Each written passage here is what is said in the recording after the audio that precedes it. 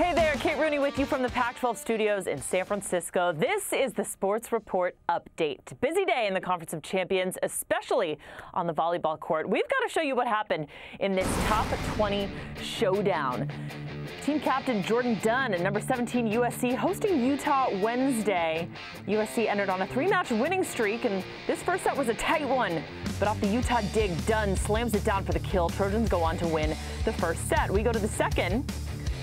They're up six points. Rennie Mayer-Wally sets up Khalia Lanier for the kill, and USC would win that second set. Lanier led all players on the night with 17 kills.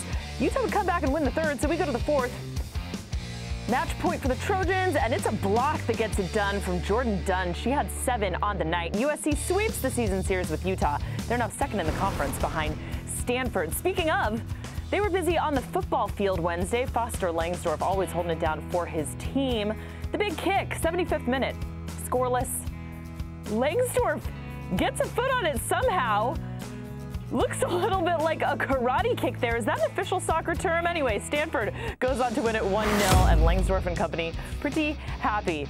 Friday is a big day in these parts, opening night for college basketball, and that means our fourth annual Full Court Friday extravaganza. 10 games on Pac 12 Network.